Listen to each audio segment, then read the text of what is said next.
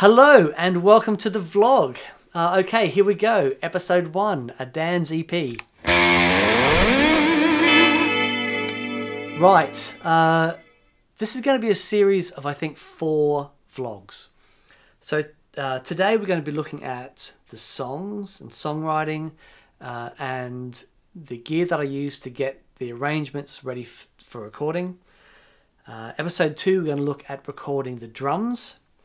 Episode three, we're going to look at recording guitars. And episode four, we're going to look at the production, mixing, and getting it all together so you have something presentable. Uh, okay, but first of all, let's talk about why I'm doing this. I was in a band called Tin Spirits uh, for 10 years and we made a couple of albums. It was great fun, and uh, but anyway, that band came to an end. And around the same time, I stopped doing cover gigs. I started to have this idea maybe I could write some songs. I see, in Tin Spirits, I had always written songs, but I never considered myself a songwriter.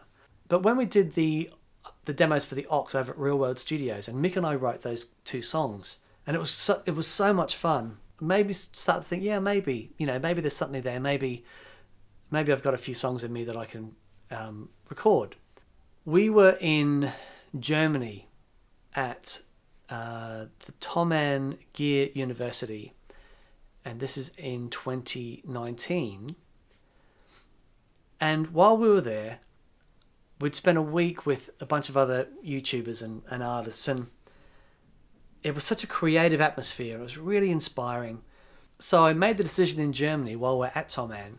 I decided I'm going to do uh, an EP. So the idea was that I was going to write and record these songs at home and do as much as humanly possible in my tiny little box room. Um, you know, record the guitars and bass and do the vocals. So when it comes to drums, you know, I spoke to Dougie, my drummer, and you will know him. He's been on the show loads. Dougie's been playing drums for me since about 2005, and I love making music with the guy. So when I talked to him about the project, Dougie said, Yep, I'm in. Um, so this is something that we're going to do together. We're calling it Overlook Hotel. The great thing about making music with other people, if it's someone that you can be genuinely honest with, then I find that you know the music often can be so much better for it. Um, now, a good example is, you know, I love everything that Neil Finn writes, but I'm especially fond of everything he did in Crowded House. Um, just having other humans around while you're making music, I think, can really add to the whole thing. And you'll see actually at the end of this show today how Dougie impacted on one of the songs in a very big way. So before we get to the recording gear and such, I just want to quickly talk about the songs. So the idea for this vlog, uh, there are four songs on the EP, but we're going to focus on one song, uh, a song called Cortisone. And so we'll look at the inception of it and the different demos and the arrangements and uh, and then right through at the end of the last show we should have um, the fully produced recorded song for anyone that's not written songs before it can seem really intimidating and a big part of the reason i wanted to do this was to encourage you guys to just have a go and i think it's something that um, most, if not all of us, have the potential to do. I mean, the reason you play guitar in the first place is you like the way it sounds, you know. So it's not a big stretch from there to create some chords and create a melody. But one thing that can be really challenging, if especially if you haven't done it before, is lyrics. Okay, so a quick name drop moment. My wife and I were out a few months ago and we ran into Andy Partridge. Um, Andy Partridge is a true genius. Uh, so you all know him from XTC, but he's done loads of solo stuff as well. And he just he is so creative and inventive with the way that he approaches music. So that night we're talking about songwriting, and he said a couple of things to me that I will never forget. I said, Andy, how do you approach melodies? You always come up with these stunning, these beautiful melodies. He said, it's really simple. He said, the simpler your chord structure is, the more elaborate that your melodies can be. But he said the more complex your chord structure is, the simpler the melodies have to be. I'm like, whoa, you know, mind blown. I'd never thought of it like that before. And so I said to him, you know, where does where do your lyrics come from? And he said, oh, it's really simple. He said, I'll write a piece of music, and then I just think about the way that that music makes me feel, and then I'll write that, and that's the lyrics. And I love that because you know music makes you feel a certain way, and if you if you try to express that in words, there's the lyrics for your song. Okay, so let's have a look at the song Cortisone. Um, Cortisone, when I when I wrote this, I was thinking about a very dear friend of mine, a guy called Mark Cuff. So Mark and I were in a band in Australia for years and years, and we had an original thing going, and we were writing and recording all these songs, and it just seemed that no matter what we did, we couldn't really catch a break with it. Um, so it was sort of inspired by, you know, Mark and our experiences together, and one of those people that that you have in your life that just makes a massive, massive impact on you. Well, Mark was that for me. Um, so when I wrote this, I was basically thinking of Mark and, and our the, the time that we spent making music together and um, and all the stuff we went through. Now that's not to say that the lyrics are um, in any way autobiographical or encyclopedic or anything like that. Um, so that you know, I was sort of just narrating my feelings when I was thinking about the music. So that's how I started writing this song. Now, fortuitously, when I was in Germany, there was a company there called iZotope, and they had released a product called Spire. So what the Spire is, it's basically it's a portable 8-track recorder. It has a built-in microphone, so you don't even need to plug a mic into it. And it connects to your phone via an app. And what you can do is sit down and really easily record up to eight tracks and then mix them all on your phone. Uh, iZotope are, are very well known for their software, their audio software. So it includes a bunch of um, iZotope plugins and things that clean up the audio and just make it sound really great. But the idea about this is it's really quick, it's simple, it's portable. This the built-in microphone is fantastic.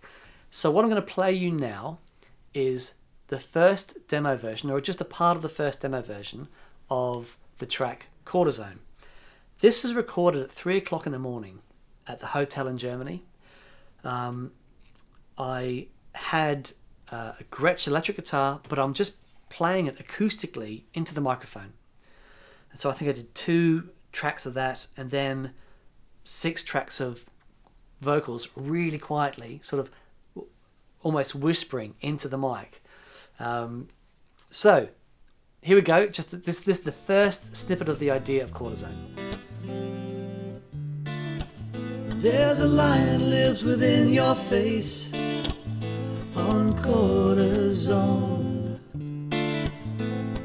Hail Mary, full of grace, home.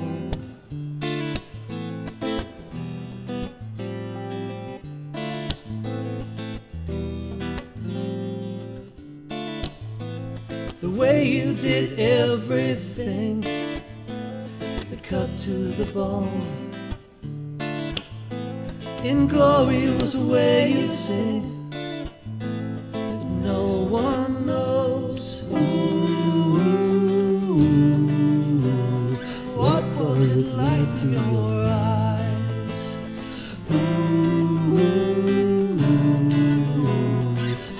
can you tell what was lies? from what was true.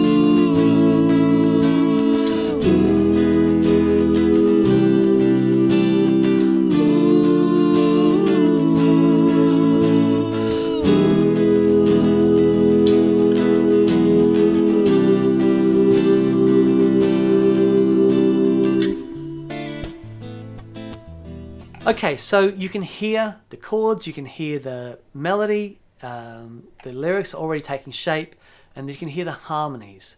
I've now got the basic idea for the song down, and I need to start working on the arrangement. So it is time for me to dip my toe in the very unfamiliar waters of DAW, digital audio workstations. Um, I, like I said, I'd never, never really recorded with any of this stuff before. But one thing I did have uh, on my MacBook Pro, it comes with GarageBand. So I did some research and found out that loads of people get great results recording with GarageBand. So I thought I'd start there. Now to do this, I needed two things. I needed an interface and I needed a microphone. So the first interface I used, I went out and grabbed this Zoom TAC 2. Uh, it's a really simple audio interface, plugs straight into the MacBook via the lightning cable connector and enables me to plug in guitars and microphones and whatever and record directly into GarageBand. So one thing became really apparent at this stage and that was uh, that getting a guitar sound that I was happy with wasn't going to be easy.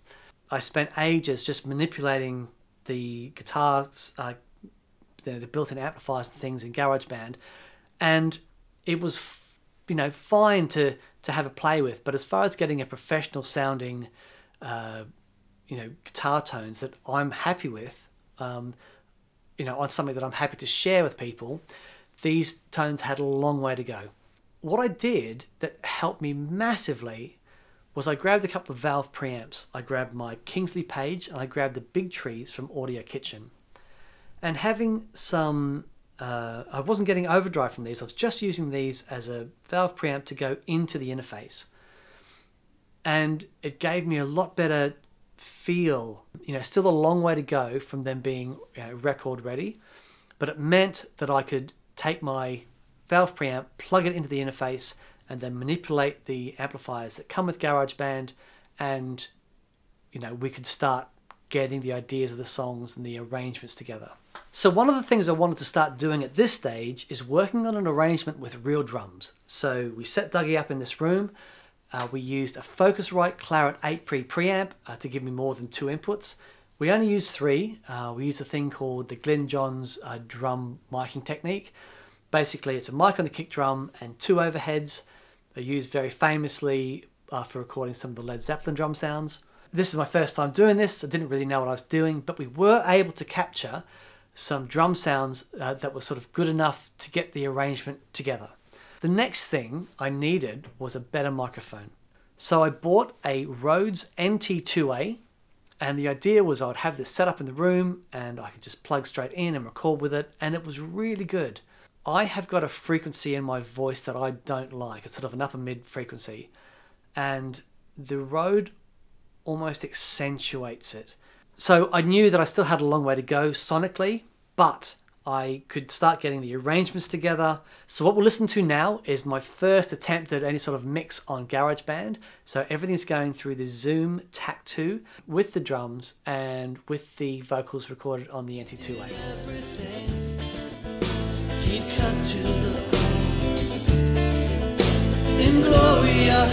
to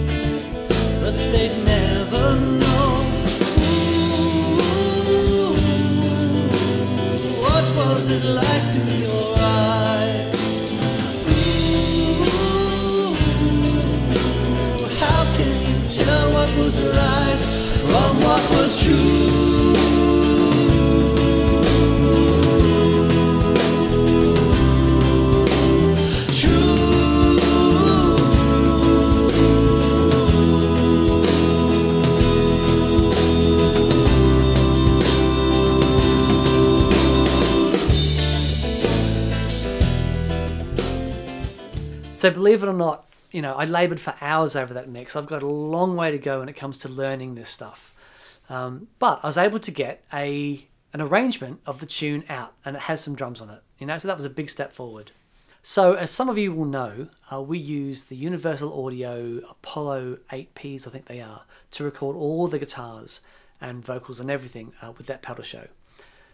And when we went to those, it was such a massive step change for us, and the quality of the audio. Uh, things started sounding real, and um, yeah, it was a, it was a, it was a big deal for us. What I didn't know is that Universal Audio made a smaller desktop version of their Apollo, and this is it. This is the Apollo Twin. So it has the same preamps, the same um, you know potential for audio quality as the big version. It's just a smaller desktop version.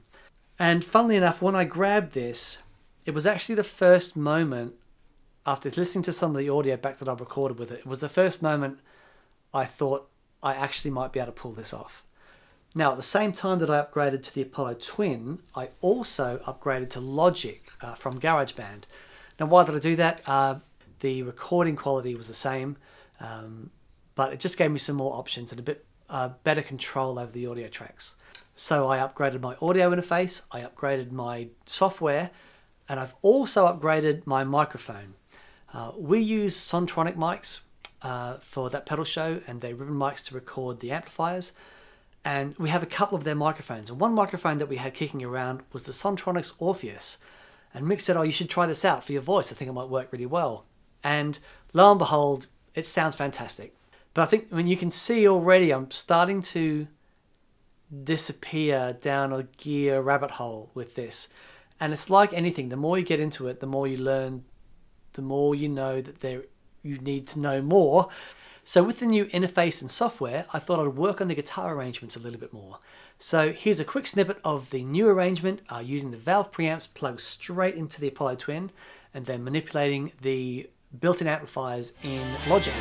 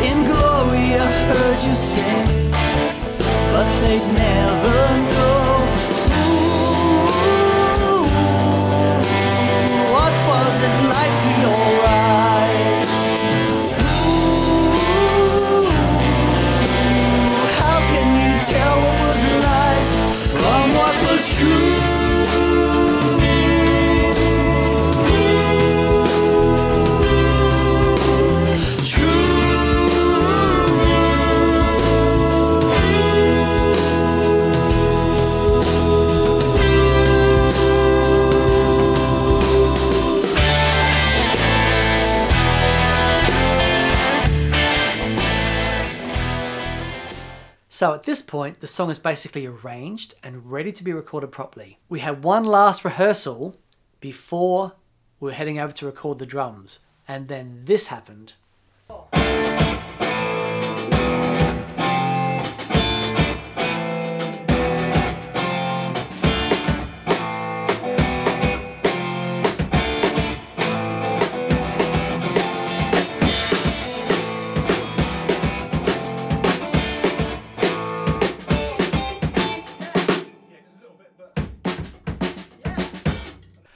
That's right, Dougie had an idea, and it has changed the entire feel of the song, and I love it.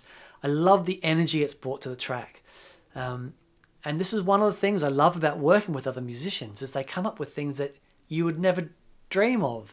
So there you go, guys. That's where we're at at the moment with this song. Uh, we'll be heading over to record some drums at the That Pedal Show studio with Fraser. So Fraser is our production assistant, and he's a great producer, and he's going to show us the techniques that he uses to mic real drums and get some great drum sounds.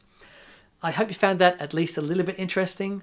Um, I was really keen to document this process and what it's like to start from basically absolute zero. Uh, I mean, it's been so much fun just to spend time, you know, being creative and making music. You know, whether it is just humming a tune into your phone uh, or sitting down with software and writing some tunes at home. Um, you know, I think that's something as guitar players, we all have the potential. We've all got a song in us, you know. I really believe that. So hopefully, um, this journey might motivate a couple of you to do the same thing. Cool. Okay. Have a great day and see you for episode two the drums. Cheers, guys. Bye.